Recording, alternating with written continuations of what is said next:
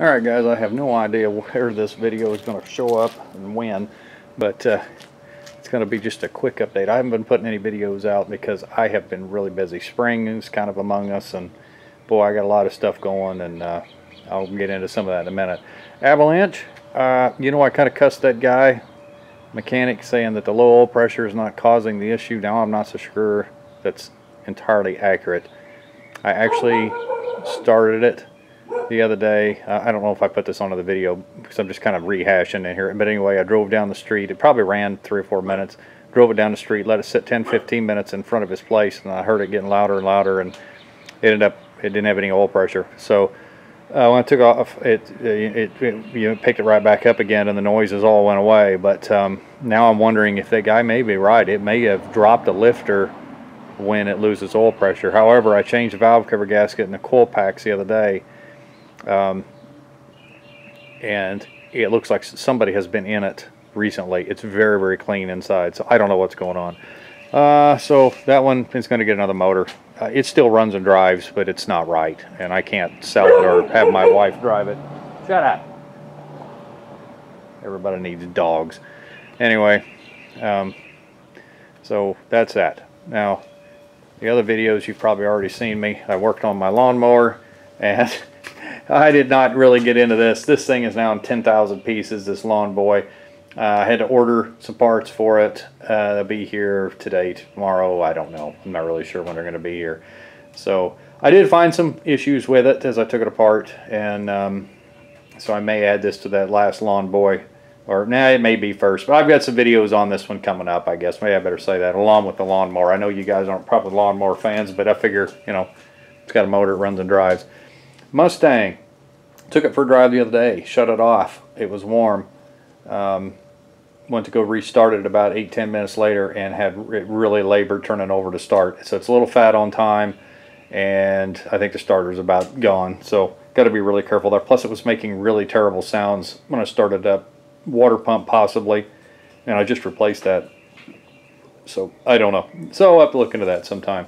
I will get the, the, the MG out probably tomorrow. I have to work Sunday. Uh, today is actually Good Friday. Uh, I have to work because I got something going. We're trying to refinance it. It doesn't matter. We got a lot of stuff going. Okay, something else I had to do. This I built the other day. Um,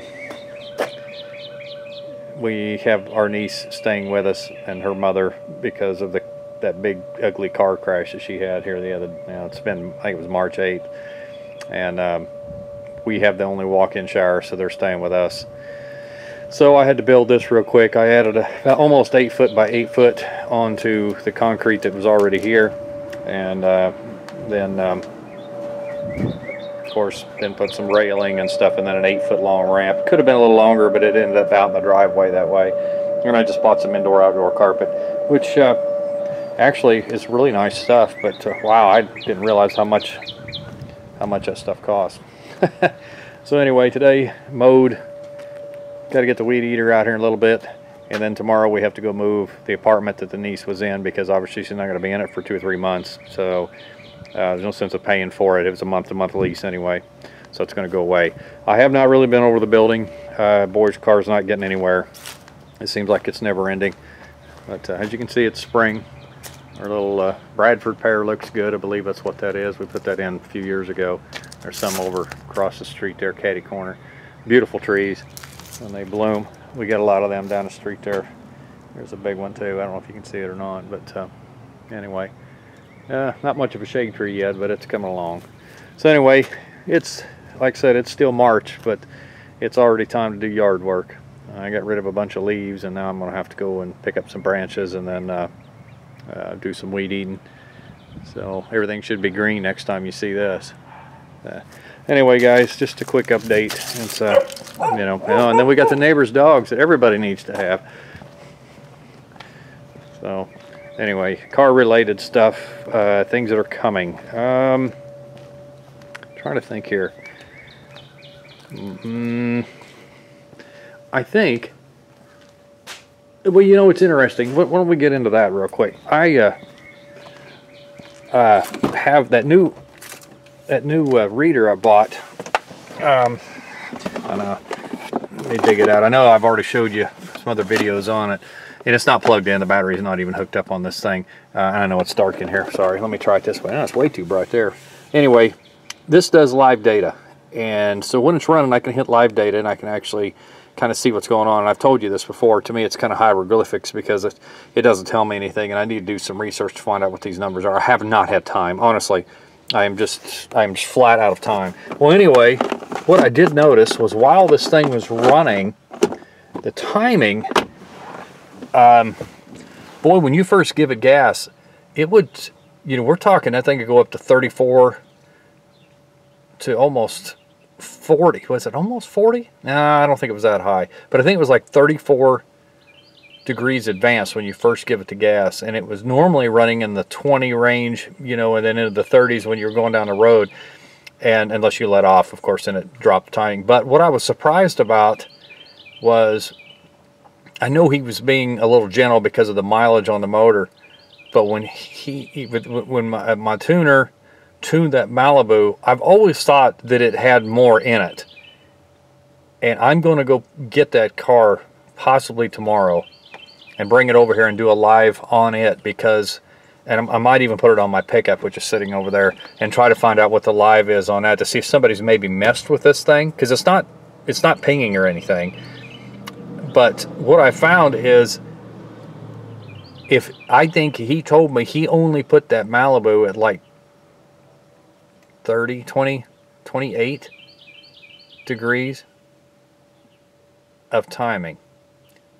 If that's the case, it looks like, judging by how this one's running, and it's heavier, and and it's not making any funny sounds, and I'm running 91 in it, uh, where I'm not, I'm running 87 in this one. So if that's the case, I think I'm going to have him swing by and hook back up and give me a lot more timing because I think that's part of my problem.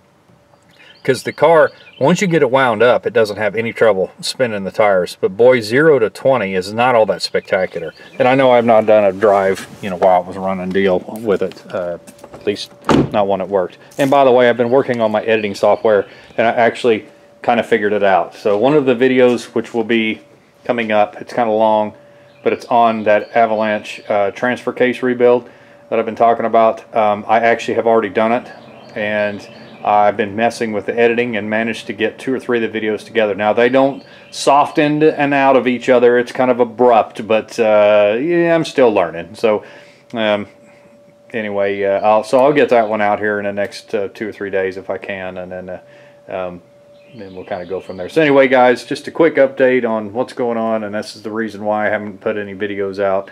And uh, I'll get this one out today, and then um, I'll start getting some more. I'm not going to call it automotive related stuff, but but uh, engine related stuff because I'm far from an expert on lawn boys, and I'm far from an expert on riding lawnmowers. But I've had them long enough to know how they work and and you know kind of what they do. And the lawn boy is such a cool motor to work at. If if you if you ever want to just mess with something that is really cool, really reliable, not too many moving parts, a lawn boy, especially the older ones, of course, that are two-stroke, they're the ones that are just, you can pick them up from people pretty reasonable, as long as they didn't uh, get carried away and, and, and, didn't mix the, the oil good enough, you know, the, the gas oil mix, your two-stroke mix.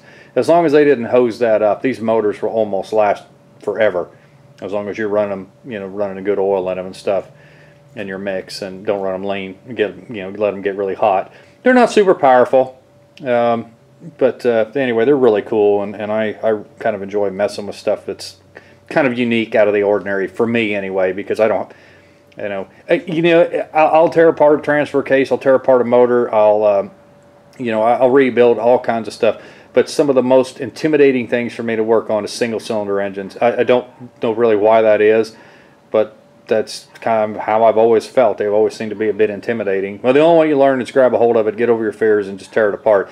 I looked at it like this. This thing was to the point where it, it wouldn't start anymore, and so I had to do something. Uh, yeah, anyway, that's what I did. Anyway, guys, I'm going to get off here, and uh, you'll see another video on this when I get it to start putting it back together or whatever. And like I said, there's going to be videos of me kind of half taking it apart and stuff. So anyway, I'm going to get out of here. So you guys have a good weekend.